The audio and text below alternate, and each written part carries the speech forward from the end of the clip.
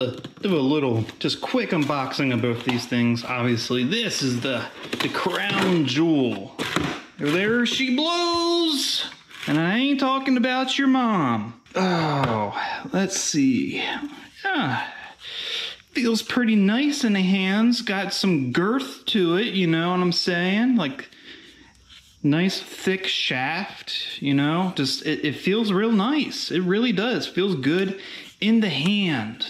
You know, this is like some plastic, like it's, but it's a nice plastic. It's not like some crappy plastic.